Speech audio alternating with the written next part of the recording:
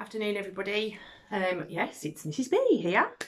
Um, just wanted to say a massive thank you to everybody that's subscribed to my channel so far and watched any of the videos, even if it's just to get a little idea of um, something that you can do at home for fun. Um, I've chatted to a few friends and family, obviously, about my channel this week, um, and I've been astounded that so many people are really enjoying everything that I'm doing and that Miss B is also doing too. Um, I want this to grow. I want it to help people. I want it to support you. I want it to make you laugh. Um, but most important of all, as I talk about in my intro video on my YouTube channel, This Is Me, that I've got this passion to help children and help parents and I want to achieve that massively. Um, one thing that I want to say, um, because this is what a few people have been asking me, I've been getting so many messages and thank you again for everybody that's just messaging and taking time just to make really lovely comments to say how much they're enjoying it and how amazing they think they are and, and whatever. Um, I love it. Hopefully that comes across. And the more I've done videos and things this week, the more confident I'm becoming in front of the camera. Um, it's all a bit weird talking to you here on this camera. Um, but I just wanted to let everybody know that I'm doing this for free. This is fast becoming a really big hobby. Um, time that I'm putting in of my own into doing this to help all of you wonderful people out there um, with such a really rubbish time that we've had this year. Um, it's been so, so tough for all of us. And one thing that remains when I um, speak to people, message people, um, we've got an amazing community group on Facebook going for our school and people have been amazing in there too for each other. And I've probably made friends with a lot of parents that I didn't know at our school, which is fantastic. Um, but it's knowing that somebody's there to help and support in whatever way we need and that's what I want to do and I've wanted to do that for such a long time now. A lot of you who know me obviously know that I have been a primary school teacher um, or was for 14 years. Um, I suddenly become Mrs B again when I have the mortarboard on.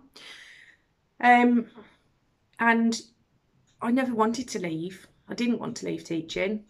I had to leave teaching for my health and my sanity um, and for the sake of my family and to get to get a work-life balance really.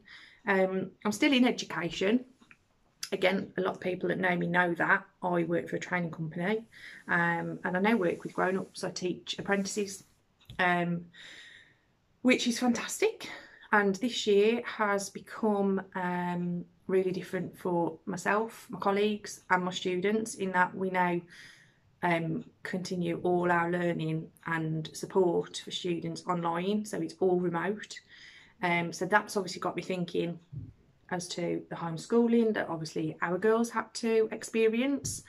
I couldn't give them the time that I wanted to because I was still working throughout.